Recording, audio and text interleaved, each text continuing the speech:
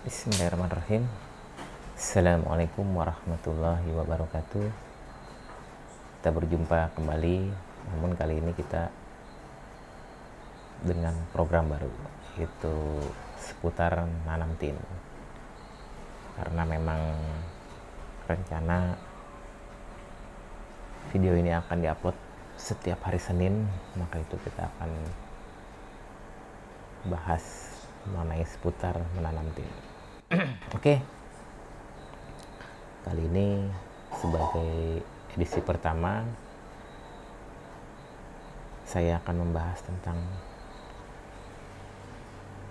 pohon tin, buah tin, dan hal yang seputar atau yang berhubungan dengan buah tin. Kita ketahui bahwa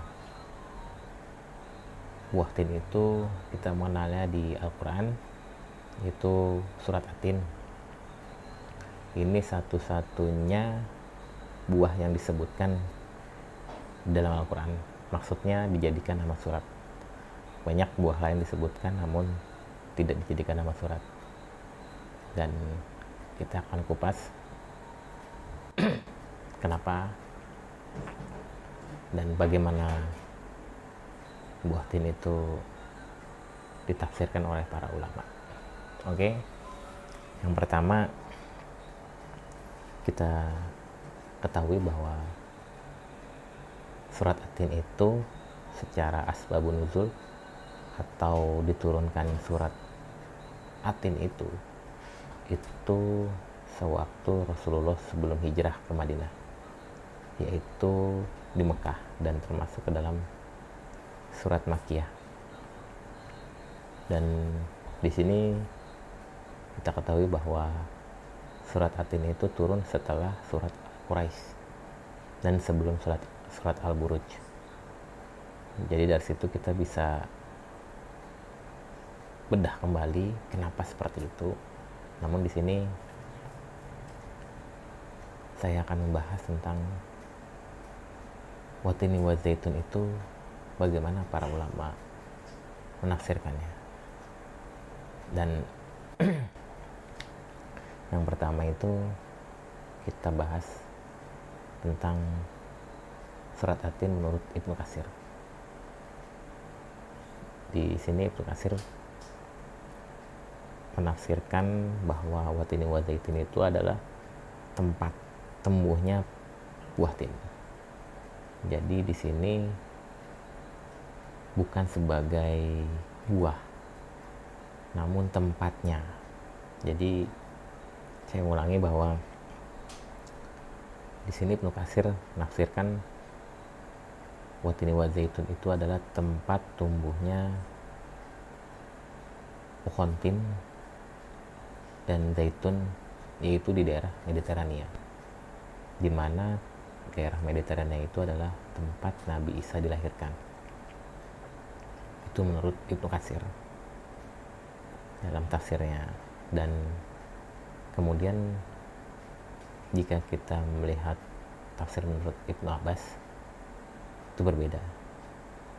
Ibnu Abbas itu menafsirkan Watini Wada itu sebagai gunung. Gunung tin yang terletak di Damaskus. Dan Zaitun itu beliau tafsirkan sebagai Betul Maktis jadi sebuah gunung berbeda lagi dengan Al-Maragi. Al-Maragi itu menafsirkan watini wazitun di sini sebagai pohon tempat Nabi Adam bernaung atau berteduh dan sekaligus untuk menutup tubuhnya dengan daun tin. Dan antara Al-Maragi dan Said Kutub itu ada persamaan. Said Kutub pun ber, uh, uh, beliau menuliskan di tafsirnya bahwa watini wazitun itu diartikan sebagai pohon di surga yang daunnya dipakai untuk menutupi kemaluan Nabi Adam dan Hawa. Dan berikutnya ada lagi Ataban. Atabari itu menafsirkan sebagai buah. Buah yang bisa dimakan. Dan menarik memang untuk satu ayat. Watini wa beberapa ulama menafsirkannya berbeda. Dan tentunya perbedaan ini bukan kita jadikan sesuatu yang bisa memecah namun ini adalah kekayaan tafsir yang memang masya Allah gitu. Jadi memang kita bisa belajar banyak. Seperti yang bar ini buah yang bisa dimakan. Beliau menafsirkan seperti ini bahwa buah tin itu memang buah surga buah yang banyak manfaatnya dan itu juga didukung oleh salah satu hadis Rasulullah yang direwatkan oleh Abu Darda bahwa buah tin itu disebutkan sebagai buah surga di mana buah surga itu lezat rasanya tidak ada bijinya dan mampu menghentikan wasir dan menyembuhkan encok. Luar biasa memang ketika bicara tentang surat atin ini. Jadi di sini sebelum kita membahas tentang bagaimana buah tin, pohon tin, apa saja yang bisa dikupas, saya ingin mencoba untuk berbagi tentang bagaimana para ulama menafsirkan watini wazi itu. Dan itulah beberapa poin yang bisa saya bagikan. Mudah-mudahan bermanfaat dan insya Allah kita akan bertemu lagi di Senin depan seputar nanam tin tentunya dan dengan tema yang berbeda.